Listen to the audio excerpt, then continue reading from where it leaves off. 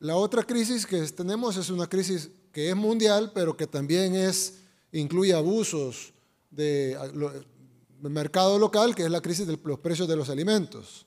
Lo hemos estado viendo con el viceministro, ya vamos a hablar de eso, pero definitivamente ha habido, eh, sí, hay una inflación mundial, todos la conocemos, sobre todo en los alimentos, por lo que ya sabemos, el incremento de los precios de los fertilizantes, la sequía, las inundaciones, etcétera, pero también hemos eh, identificado abusos.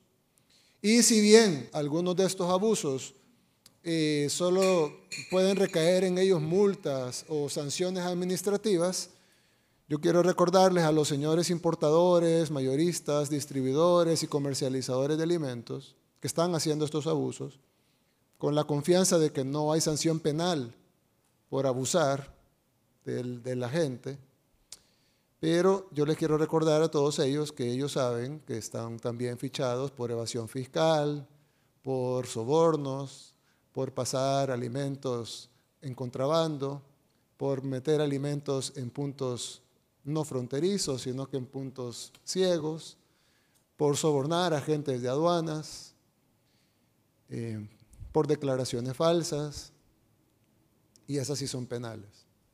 Así que voy a hacer un, llamado como el que le hicimos a las pandillas al inicio del 2019. Que les dijimos, paren de matar o no se quejen después.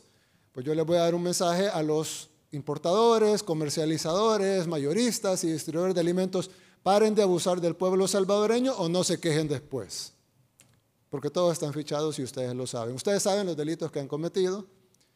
No va a ser la multa por el incremento de los alimentos las que les vamos a poner.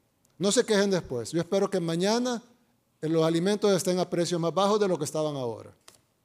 No es broma. Como se lo dijimos a las pandillas en el 2019 y se dieron cuenta que no era broma, ¿verdad?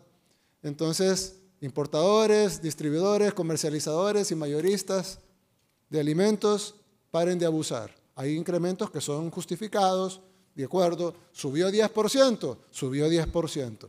Pero que por un rumor que una lluvia va a subir el doble, es un abuso.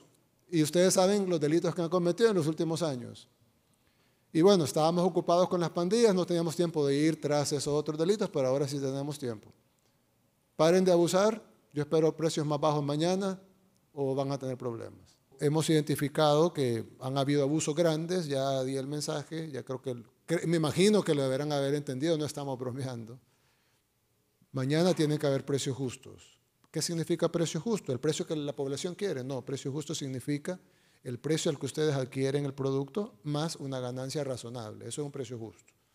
Subió el producto que ustedes adquirieron, se entiende que tengan que subir el precio, pero tiene que subirse en el porcentaje que subió.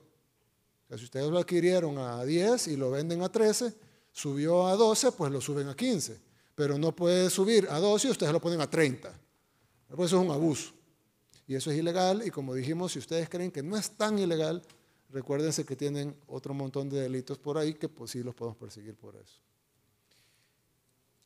Y no estamos jugando. De nuevo, por si alguien dice, no, solo es Salveque, show, cortina de humo, etc. Bueno, ya verán si es cortina de humo y show y Salveque. Así dijeron también los pandilleros.